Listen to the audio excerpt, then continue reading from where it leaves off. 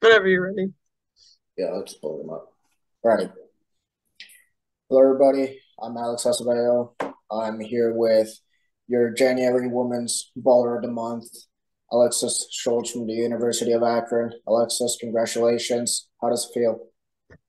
Um, I definitely feel honored to be um, selected for this because I know that there's a lot of talented women in the league. So just to be recognized for it is, means a lot to me. So, uh, what made you want to join dodgeball and then uh, stick with it?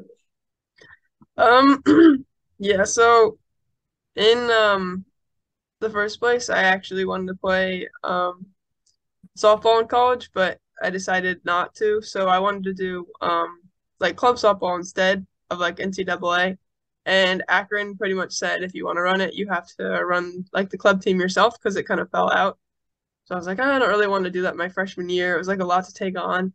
And I heard about dodgeball because I had a friend in high school whose brother actually played dodgeball. And I remember how fun that um, she said it was for him and how they went to nationals and everything. I was like, oh, that sounds so fun. So um, yeah, I ended up joining. And then I went to the first couple of practices and it was just like a lot of fun. I think I picked it up pretty quickly.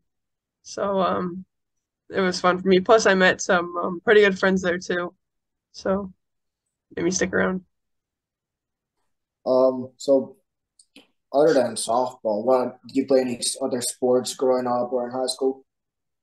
Um, yeah, so growing up, I danced for 10 years and then I also played um, basketball in high school along with softball and then I played volleyball too. So, um, yeah, plus I played, well, I played softball pretty much all growing up since I was little, but yeah, so. And uh, how do you think that that experience helped you in dodgeball? Um, yeah, I definitely think that softball helped because the throwing motions are very similar, like the overhand, so I think it uses a lot of the same muscles. Um, I also think that basketball helped because it helped me be like quick on my feet in dodgeball and like be able to dodge stuff pretty quickly. So, Um, who on the Akron team would you consider to be like a mentor to you? um, I would consider PJ a mentor because I'd say he um definitely pushes me to be more aggressive. Um, same thing with Matt because I think a lot of the time they'll like run up and I don't want them to be alone, so then I'll run up. But like it also because I run up, it like helps me be more aggressive. Um, I also think that Adam is a very big influence because like I'll come to practice thinking I know like a lot about dodgeball, and then he'll talk for like five minutes, and I'll know like so much more. Like he's he knows so much about dodgeball, and I have so much to learn from him. So Yeah, he's a very knowledgeable guy. Um, what improvements do you think could be made to the league? um, I think that there could definitely be improvements on like film in the league because I think that if we had better film, it would help like more people get involved. I feel like we've definitely made steps in the right direction, but um, I think that sometimes like they'll just be like one camera in like the corner of a court and like oh say it gets knocked over or like someone stands in front of it or like the play's in the corner of the court and the camera doesn't like pan because there's no one working it so you can't see the play so like if there's coverage on like every play or like a couple camera angles or something i think that would be a lot better for getting people involved because like i know when like there's a cool play i'll be like oh mom let's look at this or like oh like i'll show my friends who don't play dodgeball and like that could be enough to convince them to play and grow the league so yeah Alrighty, you um, this is your second year playing dodgeball here in the NCDA. Uh, what has been your favorite memory so far? um i think my favorite memory was going 3 and 0 at pink out um it was definitely fun to do on our own home turf and very rewarding too so Yeah, it was a fantastic day. Um,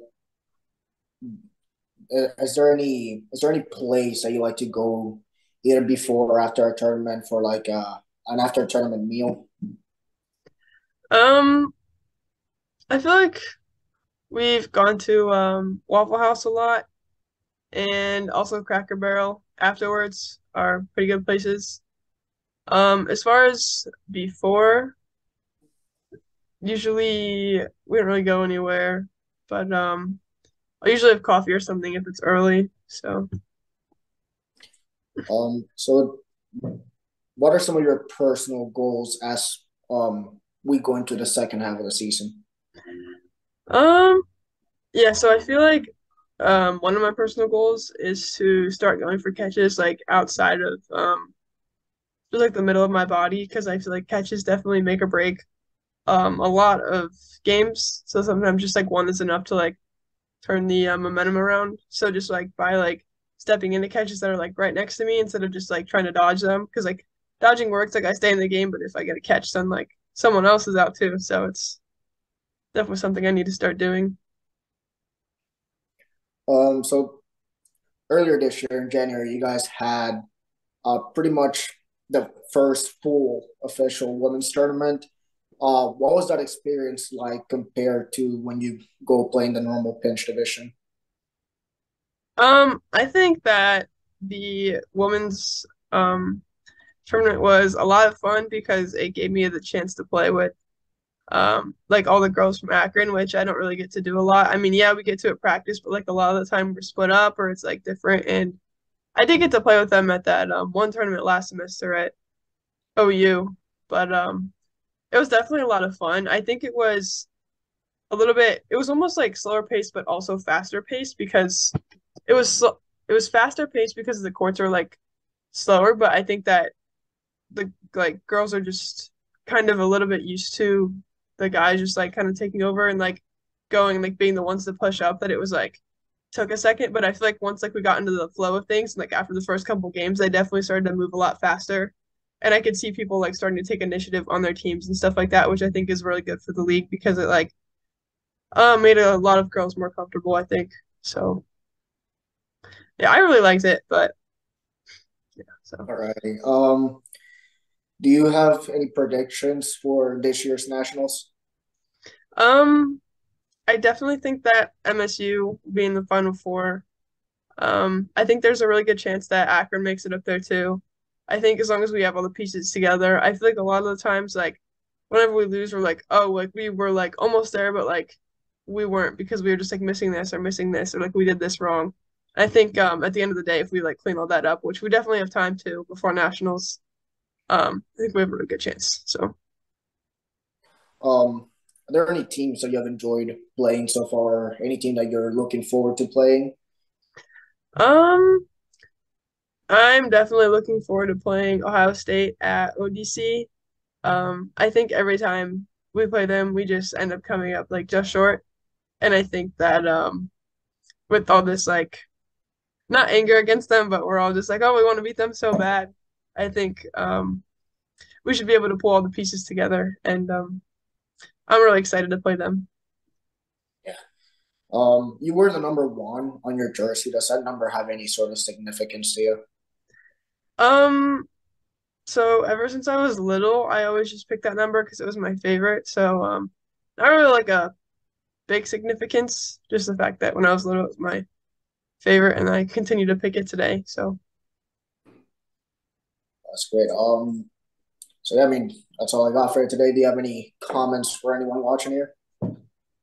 um, I definitely think that if you're watching this and you aren't involved in dodgeball, you know people who aren't involved, that you should try to get involved because I think it's like a lot of fun. It's definitely like a um a growing sport, and I think that it's so fun because you know you come in and people are pretty much all on the same playing field. Like nobody really has an advantage because like I know I never touched a dodgeball more than like once before actually playing. So um I think it's a lot of fun. But um yeah. So Alrighty. Well, Alexis, uh, once again, congratulations. Very well deserved. Um, hopefully it is not the last time you win this award. So yeah, just congratulations. thank you. Alrighty. Have a good one. Thanks you too.